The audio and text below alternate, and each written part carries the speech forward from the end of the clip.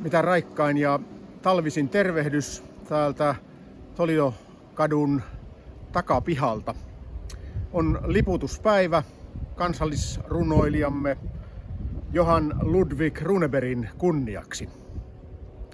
En tiedä, tarvitseeko Runeberg mitään kunniaa, sillä hän oli rakastettu ja suosittu ja pidetty jo omana aikanaan 1800-luvulla. Tuntuu siltä, että suuri on henkilöiden esiin nostaminen on nykyään vähän kyseenalaista siksi, että patsaita kaadellaan eri puolilla maailmaa aina sitten, kun aikaa kuluu ja todetaan, että ei tämä kyseinen henkilö ollutkaan niin mallikelpoinen kuin aikoinaan luultiin. No Runeberin muistomerkkejä ja patsaita lienee edelleen pystyssä Suomessa. En ole käynyt katsomassa. Yksi niistä on Esplanadin puistossa Helsingissä. Syntinsä kansallisrunoilijamme näyttää ainakin tunteneen.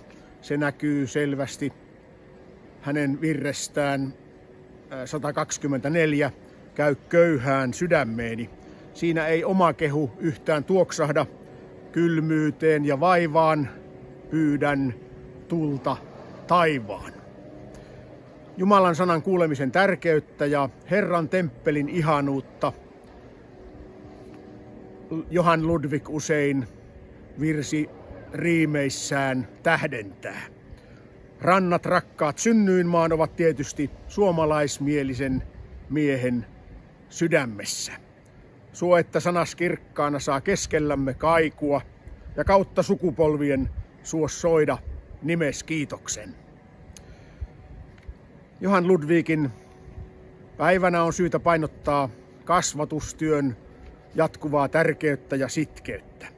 Mitään hyvää ei synny tyhjiössä. Sen lähinnä nykyisen laiskan ajatuksen pohjalta, että kyllä lapset sitten aikanaan omat ratkaisunsa tekevät. Ja ehkä on syytä kysyä tänään, että missä on iltarukous, muistammeko ruokarukouksen, miten nämä ovat meidän käytössämme. Nämäkin tutut säkeet ovat päivän sankarilta. Mä silmät luon ylös taivaaseen ja yhteen käteni liitän. Sua Herra ystävä lapsien, nyt hartain mielin mä kiitän. Oi kiitos lahjoista, joita suot, niin paljon hyvyyttä riittää. Ja aina iloa uutta luot, en osaa kaikesta kiittää. Hyvää Runeberin päivää ja pankapa vaatteita päälle.